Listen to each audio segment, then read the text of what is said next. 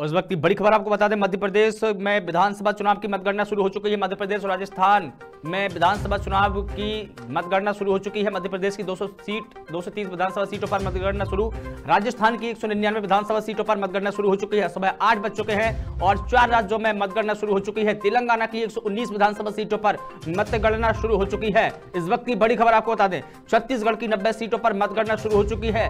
सुबह के आठ बज चुके हैं, चार राज्यों में मतगणना शुरू हो चुकी है। तो इस वक्त की बड़ी खबर, चार राज्यों में सुबह आठ बजे से मतगणना शुरू हो गई है।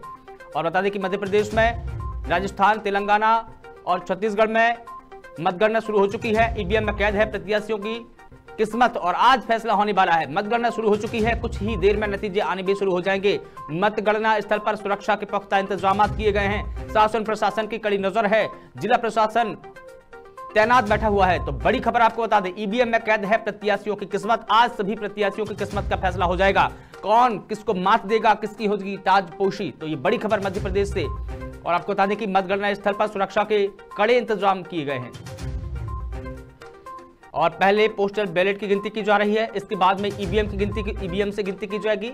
और मध्य प्रदेश, राजस्थान, छत्तीसगढ़ और तेलंगाना में मतगणना शुरू हो चुकी है। चार राज्यों में मतगणना शुरू हो चुकी है। सुबह आठ बजे से मध्य प्रदेश की 230 विधानसभा सीटों पर मतगणना शुरू हो चुकी है। और इसके अलावा अगर बात की जाए राजस्थान की तो राजस्थान की एक सौ निन्यानवे विधानसभा सीटों पर मतगणना शुरू हो चुकी है। और सभी सीटों पर यह मतगणना की जा रही है और तेलंगाना की 119 विधानसभा सीटों पर मतगणना शुरू हो गई है। सुबह आठ बजे से यह मतगणना का सिलसिला शाम तक लगातार जारी रहेगा। छत्तीसगढ़ की 90 विधानसभा सीटों पर मतगणना शुरू हो गई है। चारों राज्यों में सुबह आठ बजे से मतगणना शुरू हुई है। बता दें कि सबसे पहले तो बैलेट पेपर की गिनती की जाएगी। ईवीएम में कैद है सभी प्रत्याशियों।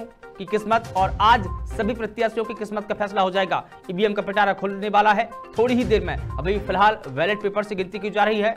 मतगणना स्थल पर सुरक्षा के कड़े इंतज़ाम किए गए हैं, पुख्ता इंतज़ाम किए गए हैं। शासन, प्रशासन, पुलिस बल तैनात है।